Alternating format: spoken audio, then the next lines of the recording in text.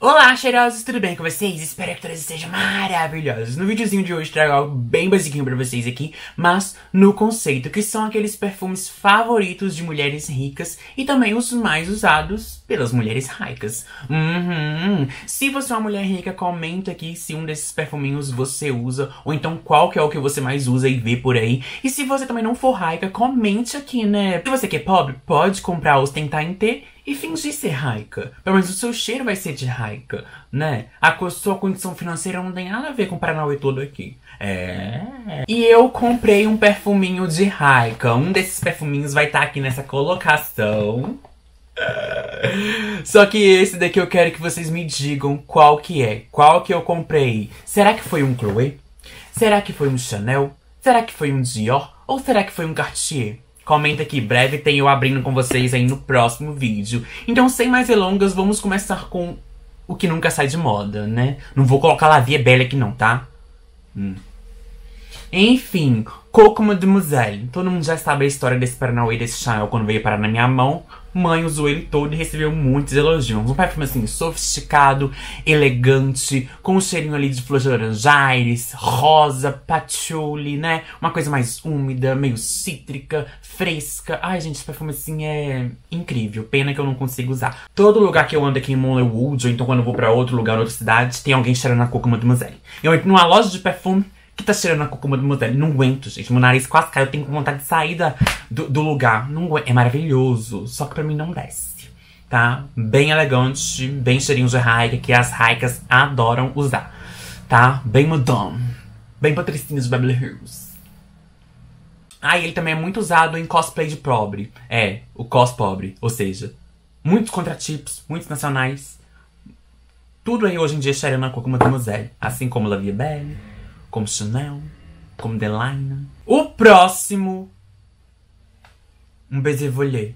Uhum. Só que esse daqui é a versão Liz Rose que já foi descontinuada da Dona Cartier. Então finge que é um baiser aquele o tradicional, né, muito usado ali em casamento, que tem uma floralidade ali branca, com bastante lírio, né, aquele cheirinho meio verde, meio classudo, meio animálico, eu tô falando do tradicional. Agora esse Liz Rose aqui, ele contém framboesa, ele contém um cheirinho fresco, um cheirinho de rosa, bem assim delicado. Esse daqui me surpreendeu.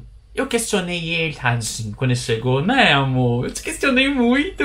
Mas ele me rende muitos elogios, gente. Eu me sinto um nojo. Eu me sinto rica. Eu me sinto metida. É. Aí você tem que já anda na rua assim.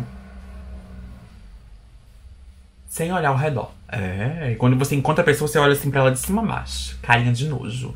Ai, que perfeição. Para.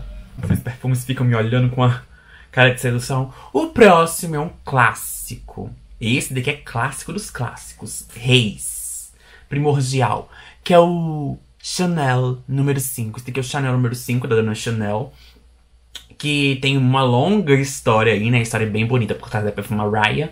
E ele é um perfume ali com aldeídos, né? Com essa pegada mais classuda mesmo, mais elegante, mais chique, mais talcadinha. Que muitas assim a cheirinho de vó, de esgoto. Falaram comigo isso, acredita? Vamos dar um tapa na cara da pessoa que sentiu, gente. Eu queria arrancar o nariz dela. Sabe? Só para o cheiro que grudou lá não permanecer naquele buraco. Ah. Mas enfim, eu recebo muitos elogios com ele. É um talco sofisticado, elegante. Olha. Deus que me livre. Olha, até arrepio de tão perfeito que isso aqui é. Quente, caloroso, excitante. Um que eu ainda não tenho, mas eis de ter, meu amor. É o Allure Sensuel. Uhum. Porque esse Allure Sensuel aqui, né, ele é mais assim, selvagem, elegante. Eu acho ele uma pegada mais animálica. Eu acho ele bem animálico, cheiroso. E ele contém notas balsâmicas aqui. Não fala que não tem notas animálicas, mas, mas eu acho ele um perfume animálico. Porque ele tem especiarias, ele tem rosa turca, ele tem pimenta rosa. Ai, gente, eu quero isso sobre minha pele. Alguém para trocar um Chanel, um Allure Chanel comigo? Para me doar. Precisando de doação.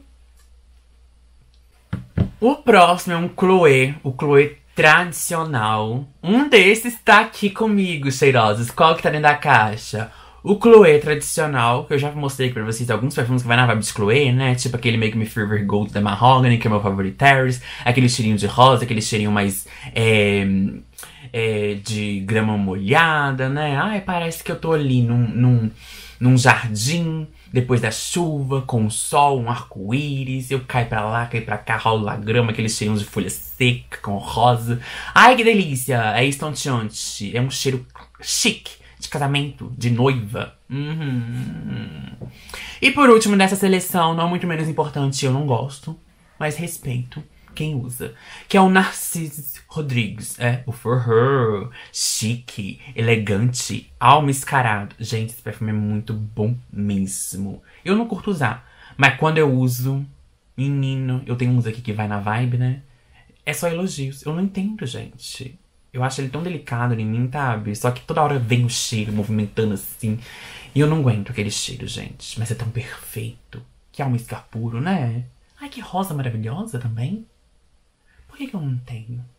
Um dos que eu tenho aqui em casa que lembra o Narciso Rodrigues, né? O For Her, o clássico. É esse daqui, ó. O Inês Le Forsage. Eu prefiro falar Le Forgance. Eu acho mais chique, mais conceito. Nossa, é muito bom. Um cheiro de rosa, limpo, mascarado. E eu sou muito elogiado com ele. Só que não, não vai na minha vibe. Aí eu falei com a menina, ah, ele é inspirado no Narciso, né? Quando eu comprei com ela tal, ela me conheceu tal. Falei assim, ah, é você, Under tal, do canal Under Style tal. Eu falei assim, sim, eu não gosto do Narcise. Será que ela pensou assim, nossa senhora, eu acho que tem problema, né? Por que tá comprando isso aqui não gosta? Mas saiu no lucro, porque eu comprei, né? Agora daqui, pra desapego. Só que sempre coloco um desapego, eu tiro. Me dá dó. Aí eu tenho dó de desapegar. Porque eu gosto de fragrâncias assim, sabe? Não da fragrância si, do frasco do conceito, da história, da arte. Pois bem, enfim, cheirosos. Qual que é o perfuminho? Eu já comentei no começo do vídeo, né? Comenta aqui embaixo quem tiver lembrado. Um beijão e até o próximo vídeo. Bye! With quick fuse, I was uptight, wanna let loose.